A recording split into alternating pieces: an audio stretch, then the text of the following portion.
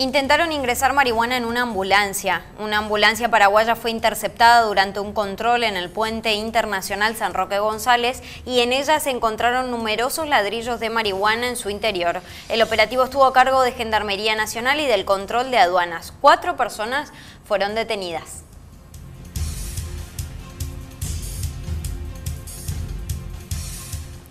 El PAMI lanzó un nuevo plan de médicos de cabecera. El organismo nacional lanzó una convocatoria para sumar prestadores como médicos de cabecera, apuntando a la libre elección de especialistas por parte de los afiliados.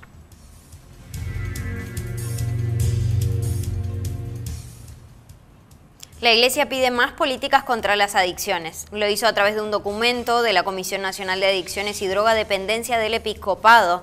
El padre Pepe lo anunció en una conferencia de prensa que se realizó este domingo. En Misiones el consumo de marihuana va en ascenso y casi igual al de tabaco.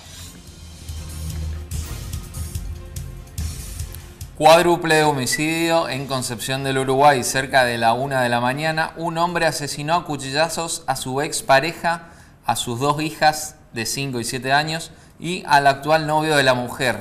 Los cuerpos fueron encontrados por los vecinos que se vieron alterados minutos antes del crimen por una, fuente, una fuerte discusión en el domicilio ubicado en el barrio 133 viviendas de la ciudad Entre.